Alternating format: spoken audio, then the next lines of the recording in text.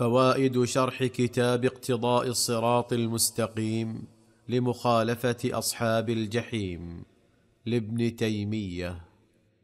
قال ولا نظهر صليبا ولا كتبا في شيء من طرق المسلمين ولا أسواقهم. هذا كما سبق لا يظهرون الصليب في طرقات المسلمين أو أسواق المسلمين بأن يلبسوه على صدورهم أو على سياراتهم أو أو على مبانيهم. أو سفاراتهم أو غير ذلك. هذا لا يجوز.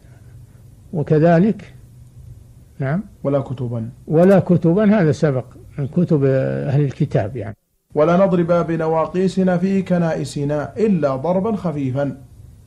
إلا ضربا خفيا. من عادة النصارى كما سبق أنهم يجمع يجتمعون للصلاة بضرب الناقوس, الناقوس وهو جرس يضربونه فيكون له صوت.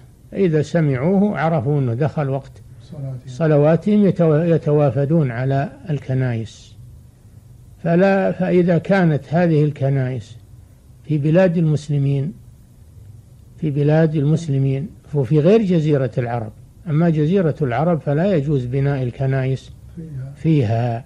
لكن إذا كان هذا في غير جزيرة العرب يعني عاهدناهم استولينا على بلدهم وعاهدناهم على أن يدفعوا الجزية ونتركهم على دينهم حينئذ لا نمكنهم من ضرب الناقوس والبلد بلد إسلامي.